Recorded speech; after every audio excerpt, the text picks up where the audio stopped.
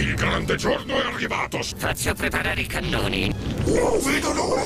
E io stavolta non posso far niente per impedirlo!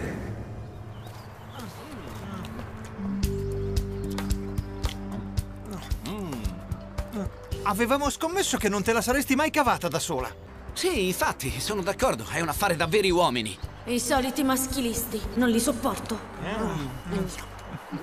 Vediamo. Fatti Al sentire. conto pensaci tu.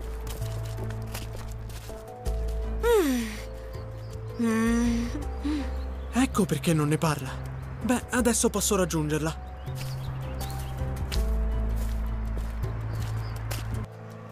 George, che cosa ci fai tu qui? Fammi indovinare, scommetto che hai fatto un giro alla stazione e per caso sei arrivato proprio qui. Stavo facendo una passeggiata. Avevo voglia di fare quattro passi. E va bene, ti ho seguita. Ero troppo curioso di sapere cosa nascondevi. Adesso però non ti arrabbiare. No, solo perché non ne ho la forza e mi hanno prosciugato tutte le energie. Ti va di fare due passi? E così ti hanno fatto una sorpresa. Era meglio se non venivano. Non cambieranno mai. Per quanto faccia mi considereranno sempre una femmina. Faccia mi... Per te è facile. Tu non hai niente. Perché ridi? Perché penso alla faccia storta. Sì, figurati. Alice era troppo misteriosa. Anche George se n'è accorto. Ma dove può essere andata? Eh? Eccola, è lei! Ma quello, quello è George! Lo vuoi sapere un segreto? Ho dormito con l'orsacchiotto. Mm? Che scemo. Ora però devi promettere di non dirlo a nessuno. Non ci posso credere, George ci sta provando. Giuro che questa volta me la paga. Ci siamo quasi. Ancora una. Mai visto niente di simile. Sono morbide come degli elastici, ma che materiale è? È le sbarre per contenere le perdite.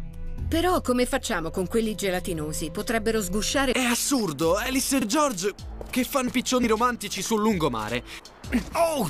Ehi, vuoi stare attento? Uno stupido ingenuo.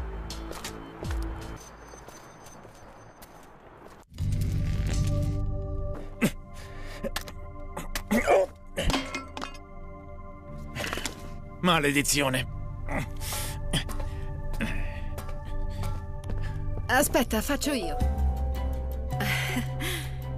È, è tutto ancora così strano. Non è strano, insomma, hai sempre lavorato da solo da quando... da quando è successo... Da quando Sofia mi ha lasciato. È questo che volevi dire, non è vero? Da quel momento ho rinunciato a ogni contatto umano. E purtroppo adesso sei costretto a sopportare me. È un sacrificio così grande. Oh. Nila, io...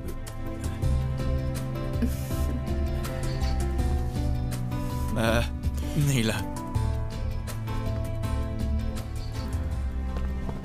Papà, non sai che... Ma cosa? Ciao, papà! Davide, ti prego, non è come credi.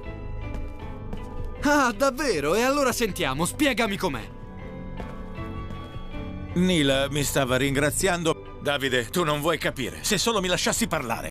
Io non tollero che tu ti rivolga a un bambino in questo modo. Scusati subito. E perché? Scusati subito. E perché? Scusati subito. E perché? Scusati subito. E perché? Non ero preparato a tutto questo.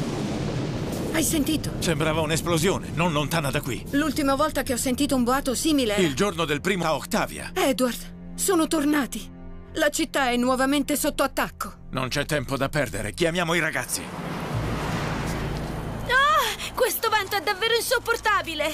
Oppure qualcosa di peggio. Professore, cosa succede? Sto cercando di rintracciare Davide e George. George è qui vicino a me. Siamo di nuovo sotto attacco. Il radar segnala.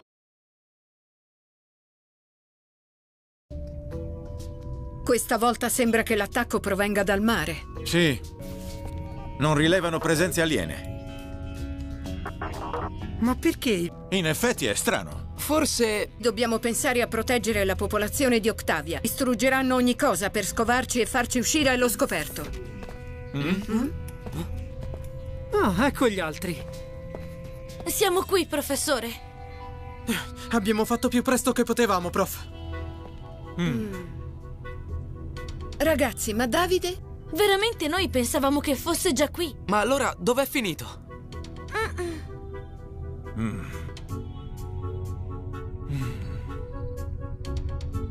Abbiamo litigato. Senza lui è dura. Come facciamo ad uscire?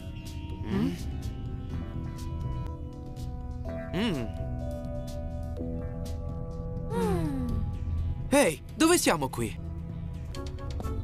Ci vediamo giù, ragazzi?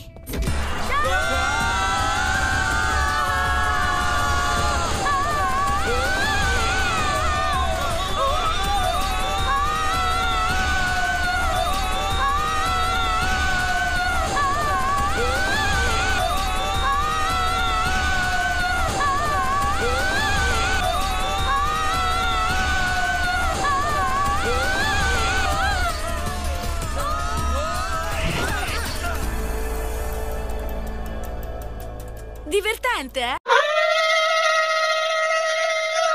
Andiamo al molo, è giusto? Ed è lì che quei mostri ci troveranno.